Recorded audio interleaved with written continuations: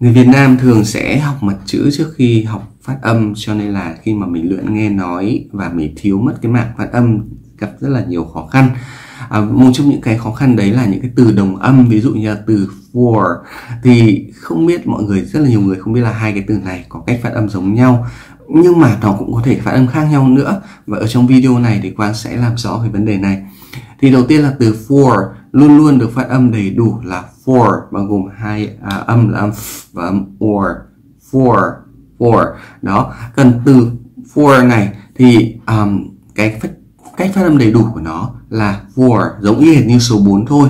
For ví dụ như là I have four children hoặc là I do it for you thì cái từ for ở trong từ for children và I do it for you thì nó đều là for cả. Nó đều là và or.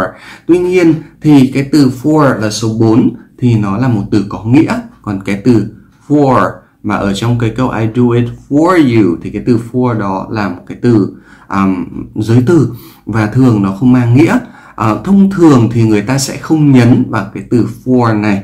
Đó. À, nếu như người ta nhấn như ở cái câu trên mà quang vừa nói I do it for you là người ta nhấn vào cái việc là tôi làm đó vì bạn. Đó. Thì nó người nó sẽ phát âm giống nhau. Hai cái từ for này sẽ phát âm giống nhau. Còn ở cái dạng thông thường à, thì cái từ for mà có nghĩa là à, giới từ ấy nó sẽ có dạng giảm lược đi. Tức là người ta sẽ không nói là I do it for you. Đó, thông thường người ta sẽ không nói thế. I do it for you. I do it for you.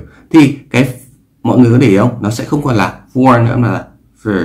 Thì lúc này cái dạng giảm lược của cái từ for là for. For. I do it for you. I do it for you. Thì cái âm er này là cái âm như thế nào? Âm er ở trong tiếng Anh Mỹ là er. Thì mình ra er er er nó là âm schwa với cả âm er đi cùng với nhau, tạo thành một cái âm gọi là âm er. À for for for for I do it for you. I do it for you. Gọi là trong tiếng Anh Anh thì nó chỉ đơn giản là một âm schwa là I do it for you. For for for đấy, trong tiếng Anh Anh là for for for còn tiếng Anh Mỹ là for for for đó, I do it for you. Thì mình cũng có một cái lưu ý là cái từ fur này nó khác với cái từ fur có nghĩa là uh, lông lông thú là fur là âm er được nhấn mạnh. Fur được nhấn fur là âm nhẹ thôi. I do it for you. Không phải I do it for you là sai.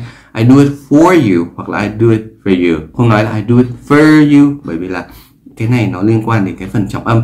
Khi mình giảm âm thì mình mới đọc lại I do it for you. I do it for you. Đó là một cái lưu ý rất là nhỏ khi mọi người phát âm.